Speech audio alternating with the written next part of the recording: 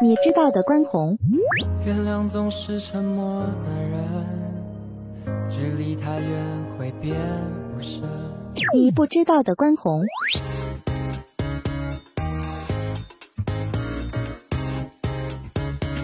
在电视剧《穿盔甲的少女》体验过冰球，在综艺《夏日冲浪店》体验过冲浪以后，你觉得这两项运动都算是潮运动吗？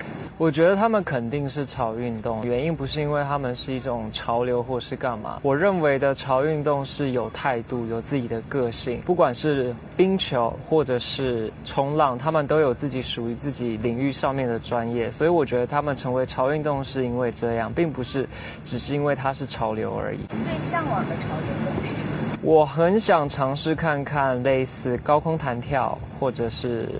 啊，滑翔伞就是从高空坠下的那种，类似极限运动。运动的时候有什么防晒绝招吗？我个人其实还蛮喜欢晒太阳的，所以我没有什么特别厉害的防晒绝招，擦擦防晒或者是喷喷喷雾，我只会这两种，因为我蛮喜欢晒太阳的。环保的定义。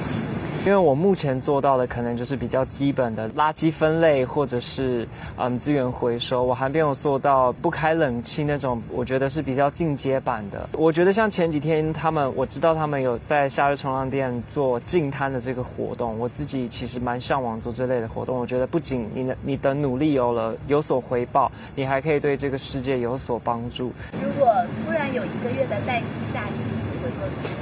我会先躺在床上两周，好好的耍一下废，之后用剩下的两周去环游一些，可能是像一些岛屿或者是什什么的，因为我还蛮喜欢在海边的。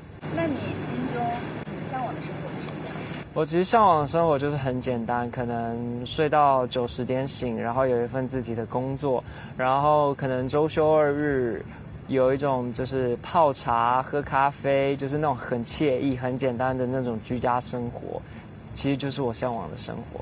你保持现在这样比较好的身材的绝招是什么？我是属于不易胖体质，就是我的身体代谢非常的高，所以我即使吃东西没有到达那个量，我都非常容易瘦下来。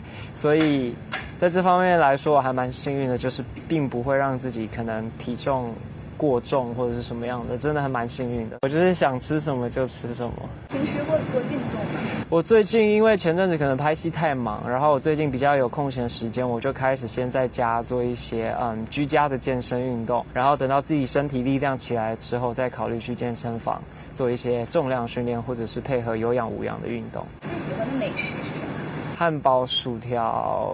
啊，披萨或者是一些中式特色的，像我现在来海南岛，我就吃海南鸡饭。教一下你的粉丝怎么在海边拍照最好。我个人是喜欢拍一些意境照，比如说海边的话，你可能就带一个侧影这样子。